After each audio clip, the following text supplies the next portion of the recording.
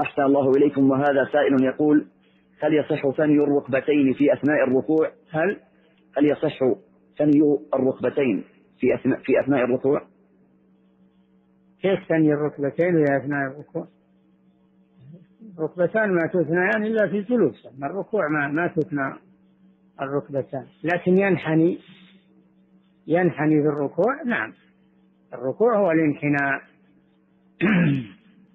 وأما أنه يثنيهما فهذا إنما هو في السجود وفي الجلوس